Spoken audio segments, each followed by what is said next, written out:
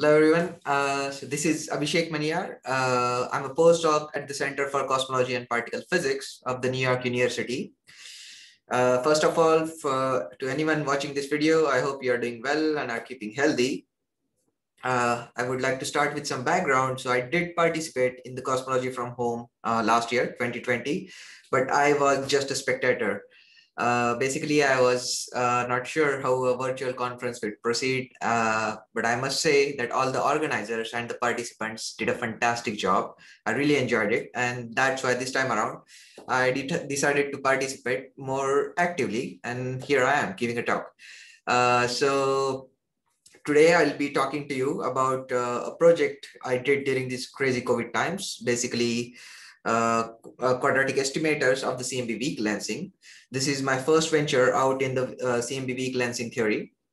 And this project was carried out with uh, uh, in collaboration with Yacine Ali Haimoud at the New York University, as well as Julien Carron, uh, Antony Lewis, and Matt Madhavacheril. As uh, this is a cosmology conference, I'm not going to go into too many details of what is the CMB, what is the CMB power spectrum. I hope you know uh, know the basic theory, but I'm still to start at a really basic level, which is the weak lensing of the CMB. Now, uh, so this is the CMB coming towards us from redshift 1000, and here we are at redshift 0.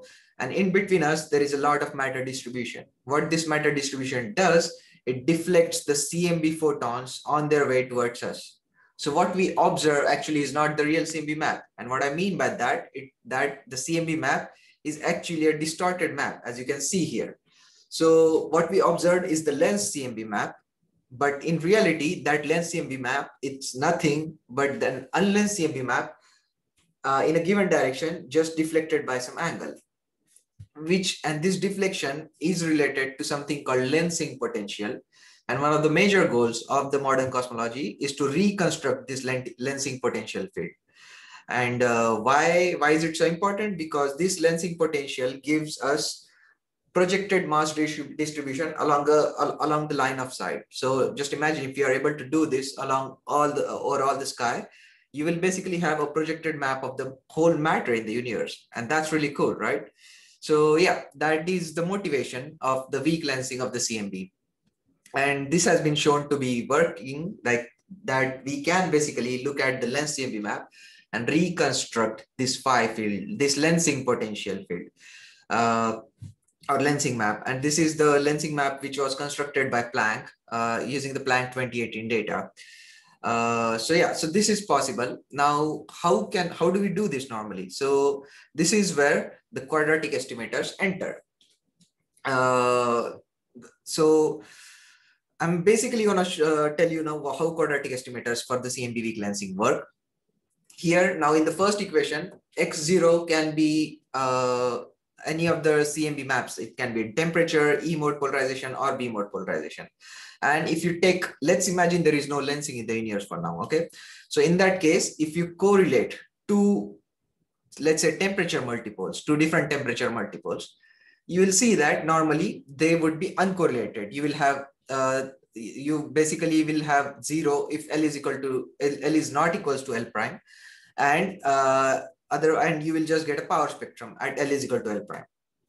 Right? Okay, that's that's straightforward because it's uh, uh, the, uh, different multipoles are uncorrelated. But now lensing enters, and what lensing does is apart from this term, it has this extra term. When you do the same cross correlation, it has this extra term, which is not equals to zero if L, uh, uh L, L and L prime are different. With that what does that mean? That means lensing induces these correlations between different multipoles which was not the case before. And here these f alphas are basically the lensing response uh, for for a particular choice of alpha. And alpha comes out based on what you see uh, take x and x prime as. It can be temperature e mode polarization or b mode polarization.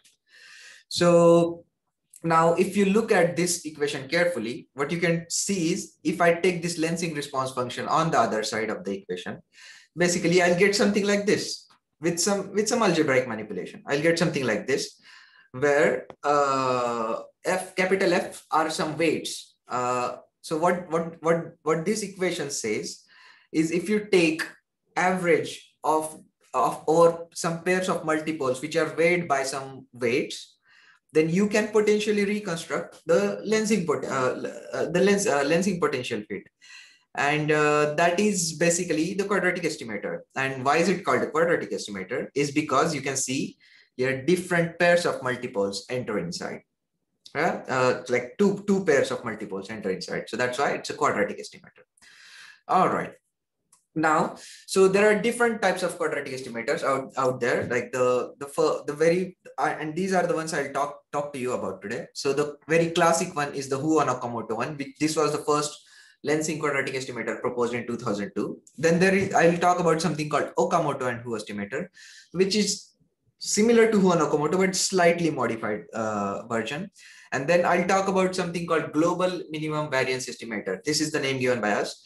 And this is the one estimator we are proposing here. And then I'll finally, I'll talk about suboptimal quadratic estimator, which is used actually in the data analysis of the Planck and SPT data. All right, so let's get to it. So Hu and Okamoto estimator. Just a couple of slides back, I explained to you how a quadratic estimator works. That quadratic works. That quadratic estimator is the classic Hu and Okamoto estimator, where you have some weights for every pair of multipoles, and then you have this pair of multipoles, and you uh, integrate over them. So where x and y can be, uh, so x y pairs can be t, t, e, e, t, t, b, e, b and these, uh, these weights fxy are determined such that uh, the variance of this equation is minimized. So you take phi times phi star and you minimize it with respect to fxy. It's pretty straightforward and you can do it re uh, really quick. And so what that, that gives you is now you have five minimum variance estimators, phi t, t, e, e, t, tb, and eb. And then out of these five estimators, we can construct a final estimator which is called the minimum variance estimator. And that is nothing but a linear combination of all these estimators, five estimators, each one weighted by some factor, which is, which is, which comes out of the inverse variance weighting. So this is, that's how this, this is the final estimator and that's the minimum variance estimator. That's the basic Hu and Okamoto procedure for lensing uh, reconstruction. Now, this has been shown to work. It works really well. Uh, what I'm showing here here to you is uh, some plot, uh, some a plot for a Simons observatory like experiment. So the signal we are trying to measure is this signal, this curve in the red. That is the lensing power spectrum. And the other colors are basically other curves are basically the uh, noise with which you will measure this signal with different estimators, TT, TE, EB, and other, other estimators. And this has been plotted for a Simons observatory-like experiment. And the curve in black is basically the minimum variance estimator, which is constructed out of these five other curves as, as uh, based on the procedure which I mentioned to you before. So obviously it is it has the least uh, amount of noise. And uh, one, one other thing you can mention, uh, you can see here is a Simons observatory like experiment will still be temperature dominated in the sense that TT estimator has the least noise of all the estimators and that's why it will be it will dominate its its contribution will dominate the minimum variance estimator all right.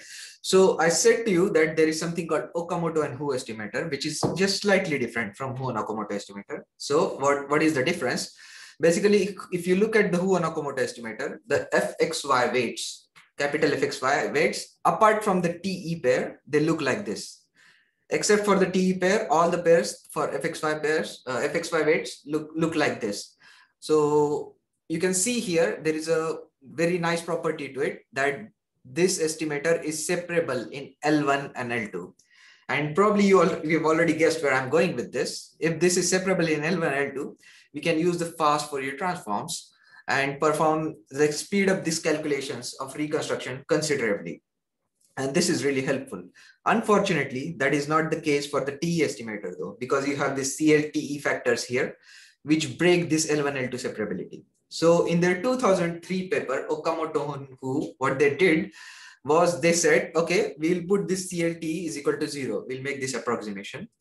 And then what happens after that is then FTE as well becomes separable in L1 and L2 great. And then you can use the fast Fourier transform, speed up the FTE calculation as well. Now, of course, this comes at a, a penalty of the reconstruction noise increase. And you, you can see that again here, what I'm, what, what I'm pl plotting is the difference in the reconstruction noise when you use the Okamoto and Hu, which is the approximated one, minimum variance estimator, and uh, then you subtract the noise from the Hu and Okamoto uh, minimum variance estimator from that, and you take the fractional noise. Uh, for different uh, different colors here, uh, they specify different experiments. Planck Planck like experiment, Simons uh, Simons observatory like experiment, and green is basically CMBS four like experiment. So as you can see, the difference, the fractional noise penalty is less than 0.5 percent. Uh, and that is fine right this this is really this is not, not this is not a lot so this in reality this this is acceptable this kind of uh, approximation is acceptable now so this is okamoto and hu estimator but i promised you i'll talk to you about something called gmv estimator which is the global minimum variance estimator which we propose here um, so this estimator is not that different from the Hu and Okamoto estimator. There is a, there is a slight and very subtle difference though. So what Hu and Okamoto do is they they construct five minimum variance estimator after integrating over L1 and L2 pairs, and then they consider the correlations between these estimators after that, after consider uh, after integrating over L1 and L2. Here instead, what we propose is we should consider these cross correlations between different estimators at each multipole level, L1 and L2, and then integrate over it. So the difference is really subtle. Uh, Hu and integrate over L1 and L2 and then consider the cross correlation. But in GMV, what we do is we consider the cross correlations first and then integrate over L1 and L2. And we show here that this is obviously less noisy than the Hu and estimator, and this is the best possible minimum variance quadratic estimator for CMB uh, weak lensing. And the, the form of phi uh, GMV basically looks like this, where each weight, FTT, FEE, and others are determined such that the whole equation has the minimum variance.